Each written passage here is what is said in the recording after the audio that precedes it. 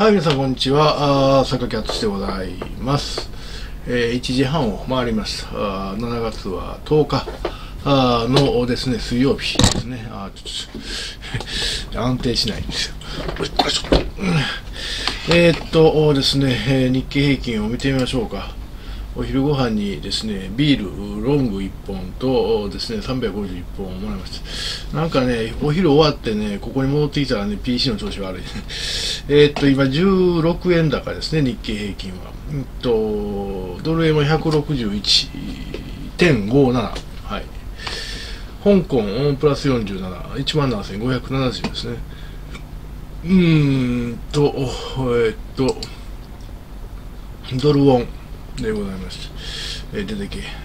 なんか調子悪いね。いきなり調子悪くなってる。えー本題はあですね、あちょっと待ってね、1384.9ドルと押し戻してますね、ちょっとね。ほうという感じで。うん。うん、本格出動してるという感じですね。押し戻してます。はい。えーさて、本題はですね、アメリカの大統領選挙。しかしね、あの、蓮舫とね、バイデンを比べるのはちょっと格が違いすぎるんですけど、いや、みんな、めげませんね、政治家というのは、記者もそうですけど、えーあの、やっぱりああいうね、図太さというかですね、独特のなんていうか、粘り強さというか、えー3年前の菅さんがあっさり行き過ぎたような気しますけど、それを考えるとね、えーあの政治家ってしぶとい、しぶといもんですね、えー時々ね、あっさり行く人もいますけど、えー安倍さんなんかあっさり辞めてしまいましたよね。さて、えーバイデンさんね、えーもう毎日毎日私もチェックしてますけど、ニュースを、降りろ降りろの大合唱ですね。えー民主党内からもそうですしですね、えっと、財界人からも降りろ降りろ。で、挙句の果ては民主党のですね、大応援団であるメディアですね、えー一番クオリティペーパーとされているニューヨーク・タイムズも降りろと2回目のですね、社説を出したという、えー記事が今これ、時事 .com え米有力紙再び撤退要求、バイデン氏が国を危機に米大統領選挙ということで、これは今日のですね、12時22分と言いますから、まだ1時間ちょいですね、ニューヨーク・タイムズがまた降りろと言うたということですね。えーでも今のところですね、バイデンさん、降りるというふうにはおっしゃってません。あのーまあ、あのーいろいろとですね、その民主党の大統領候補選出の手続きを読むとですね、本人が降りると言わないとなかなか難しいわけですね。えーそれが8月の19日がリミットで、まあ、あと一月ですね、えー一月ちょいの間にバイデンさんが決断するかどうか。結局僕は降りると思うんですけどね。あの9月にもう一回テレビ討論やるというふうに言うてますけどもですね、あのそこで逆転でもしない限りは、もう、決定的な逆転をしない限りは無理やって、今のトランプ相手にですね、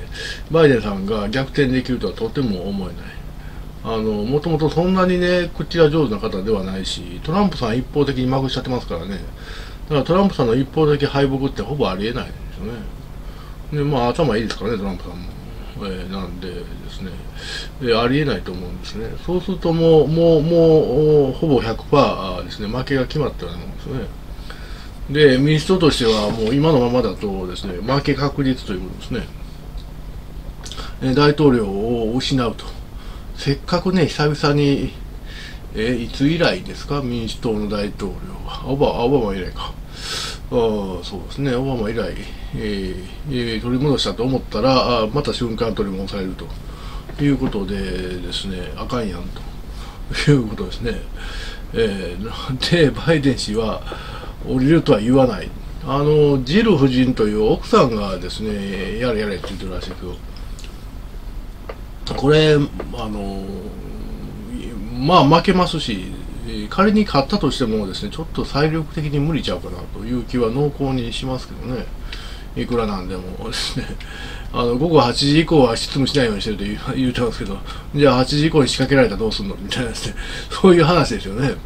世の中でも叩き起こされるのが大統領でしょ。うん、まあ、まあ、うちの高齢やからどうのこうのとかって言うたら、これアウトやんというですね。あのノルマンディ上陸作戦って1944年にあるんですけどもですね、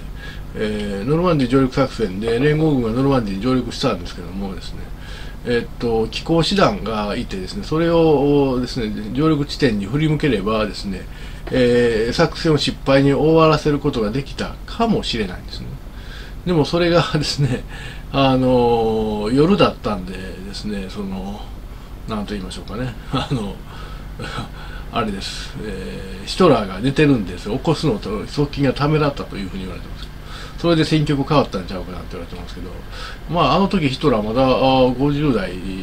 ちゃいますかね。50代なったかならへんかそれくらいでしょ若い。えー、それがですねあのバイデンも80今今で81ですか。えー、明らかこれそそんな夜中起きて寝ぼけてですね、えー、こう判断してもらったら困るということなんでもう誰がどう見てもバイデンがあですねこう降りた方がですねアメリカのため、えーえー、だけちゃうんですよ実は。いつもいつも申し上げている通り日本はアメリカの属国なんですね実質的な。ということは日本人にとっては大ボスなんですよねアメリカ大統領って。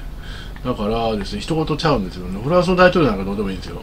イギリスの首相もどうでもいいわけですよ。でも、アメリカの大統領だけは日本の大ボスなんでですね、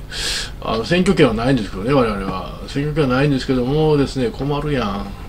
あのああいう、ああいうこう、なんていうか、よぼよぼのじいさんがですね、よたよたとですね、大統領やってるっていうのは困るから降りるべきなんですよ。降りてですね少しでも可能性のある人に代わってもらってできちんとやるべきですね、えー、ただまあ あの次の候補次第なんですけどね、えー、次の候補があこう現実的でですねトランプよりかはですね常識的な人であればですね、まあ、そっちがなった方がトランプがやるよりかはですねこうマシだと思います。いつも言う通りね あの別にトランプが僕いいと思ってるわけではないんですよ。バイデンよりかはいいと思いますよ。バイデンよりかは2ミリぐらいはいいと思いますけど、でもトランプという人はアメリカのことしか考えてくれないわけですよ。えー、アメリカは日本を、ま、守ってくれてるんですね。で、その義務をですね、こう果たすような人が、バイデンは真面目なんでですね、その義務を果たそうという気分、気がある人なんですけど、トランプはいまいちね、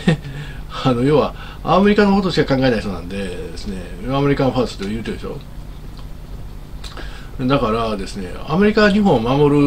まあ、条約を結んでますけど、条約の義務はあるんですけど、アメリカの利益にとって日本を守ることが得か損かって言ったら、まあ、難しいところですよ。えー、もう、台湾もそうですよ。アメリカが台湾を守るかどうかって言ったら、難しいところですよ。フィリピンなんかましてはもっともういらんやんという世界なんですね。